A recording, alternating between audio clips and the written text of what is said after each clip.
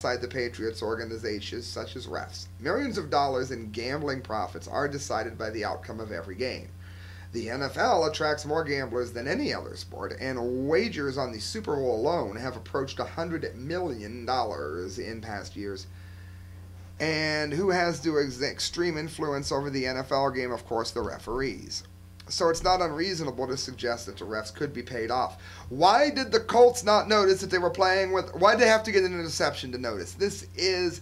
They're always trying to find some way to blame New England. The point is, I think both teams should be uh, looked into, and if one of them get penalized, then they both should. The bigger issue isn't the teams here; it's the way that this seems to be going on all over the NFL. I just talked about uh, a couple weeks, a couple uh, installments ago. Look up how San Fran was cheated out of going to the playoffs. Uh, we have the uh, the pass uh, that was perfectly legal that we reported on last uh, two weeks ago. I think it was a week ago, where he the team was cheated out of uh, the playoffs. Clearly cheated out of the playoffs. It says uh, the rules are so messy nowadays that refs can make bad calls with plausible deniability. That is true. The refs almost play the game now. And said it's all about money. That's what the leagues put the games on for. Gambling expert Brian Tuohy said they put them on just for their own profit and for the television networks. And statistically, it's shown the networks are surviving because the NFL and, of course, the advertisers are making a profit. And again, it put on that there's no law that prevents them cheating. The point is this this stinks a lot more than New England. The, it looks to me like the Colts also knew about this and they raised a stink because they lost. At the end of the day, this is going to destroy it. A, a, lot of people like me already love, and I, I'm, I've loved it since I was a small child. We like skateboarding. And now that the X Games have taken off, you know what? I'd be just as happy watching the uh, season, the the X Games, as I would the Super Bowl. And this is going to make a lot more people think this way if they start to do that. Oh, it might not be the X Games. It'll be soccer, which is growing in this country. It'll be something else. But that's why it will be that because of the cheating that we're finding here in the NFL. News.yahoo.com. It takes us to the dumb day of the day. Town to vote on demolishing Sandy Hook Killer's Connecticut home. How damn stupid can you get? This is a $500,000 house. I don't care if Charlie Manson lived in it while swapping spit with Adolf Hitler on top of a copy of the Quran. I could care less. Give the house to the working poor. Somebody, you know, I guess you wouldn't be able to pay the taxes, but you get my point.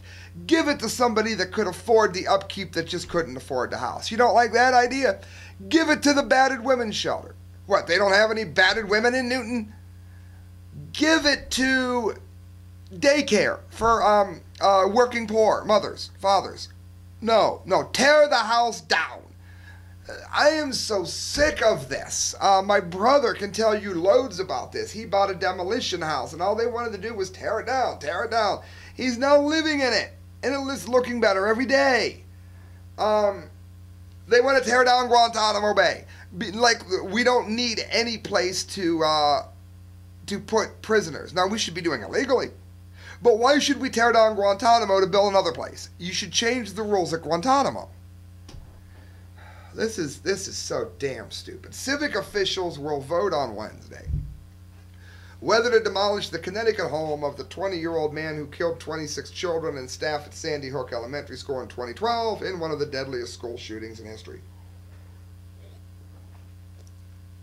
Adam Lanza shot and killed his mother, Nancy Lanza, on December 14, 2012 at the white colonial style house shortly before driving to the school to continue the shooting spree, which ended in him killing himself. The best thing we can do to honor the families is demolish the house. Bullshit. Why don't you sell it and give the money to the family members? How about that? Patricia Llodra, Newtown's most senior elected official, said in a telephone interview, she's a damned idiot. Call Patricia Llodra and let her know that we have people that can put that house to good use and that she just won the dumb of the day. Llodra said the Newton Board of Selectmen, the administrative body that she leads, had unanimously approved a recommendation to demolish the house because, you know, she's got a house, so why should she bother to give anything back to the community? The house appraised at $523,000 was given to the town at no cost by Hudson Savings Bank in December, which acquired it a few months earlier after Nancy's and her son's death. So let me ask you something. They had sold it, Ryan Lanza. You give something to the government, and what do they do? They destroy it. They tear it down. That's why it's better off in the hands of the people. I guarantee there's a lot of people without a house that aren't worried about the memory of the fall. They're more worried about where they're going to live tonight. Llodra also said she will urge the town to place a limitation on the deed so that any economic benefit for the future sale or development of the 2.1 acre property be used to benefit the families of the victims. Oh, shut the hell up, you moron. It says the short term plan would be to leave the plot as an open space. But in 20, 30, 40 years, town leaders may not feel the same. We want to make sure the victims' families are protected if the land is ever sold. That is the dumbest damn thing I have ever heard. Friends, you're listening to The Correct Views. Sam I.B. DeGangi giving you those correct views and showing you where the waste is, asking you to contact the people that I'm telling you are doing these stupid things so that you can get them to stop. Things like demolishing a $523,000 house because an idiot owned it. Please donate to the show at thecorrectviews at hotmail.com and go to mediaspeaks.com, look up the work of Kyle, Court, D. Lake, and myself. Good night, friends. God bless.